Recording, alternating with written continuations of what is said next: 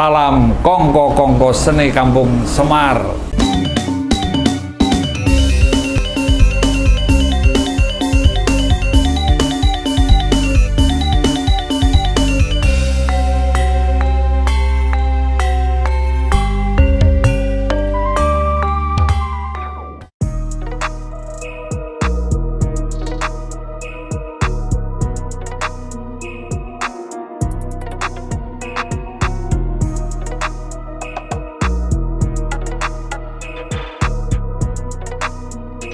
Rumahku, galeriku. Ini di tempat Mas Nur Fuad. Nanti akan kita bincang-bincang.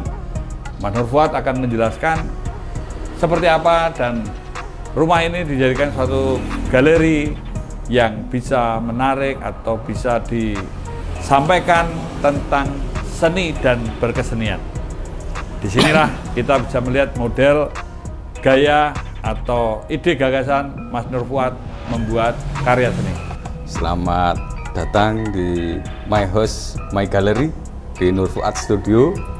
Nah ini studio saya yang beberapa karya saya pajang untuk mengikuti pameran L Project uh, Indonesian Art Expo yang diberatori oleh Bapak Kisworo.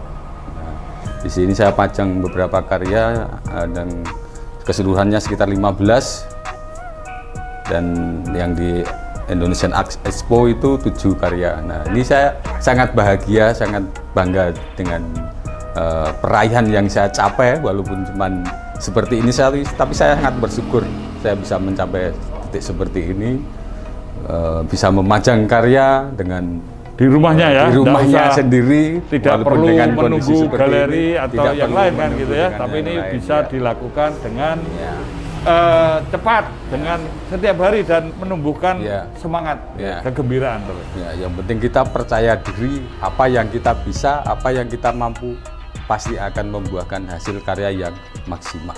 Nah, ini Mas Joko ada komentar, silakan. Baik ya, saya rasa uh, rumah uh, galeri Mas Nur Fuad ini cukup representatif ya karena salah satu adalah diakses jalan dari Borobudur ya. Iya. Ada jalan ya walaupun bukan jalan utama tapi cukup representatif. Dan secara konteks memang Mas Nur Fuad ini cukup apa ya cukup rapi ya menyiapkan ya. di galerinya ya, dan semua. apa ini Mas Nur Fuad uh, tinggal di sini juga atau enggak? Oh enggak. Ya.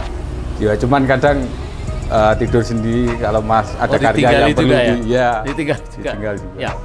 Memang dari karya-karya realistik ini ketika berkarya banyak sekali waktu yang dibutuhkan ya tentunya yang namanya rumah galeri dan tempat bekerja juga tentunya ini juga yeah. akan banyak menginspirasi publik yeah, gitu ya. karena galeri atau rumah ini juga menjadi ruang publik tentunya.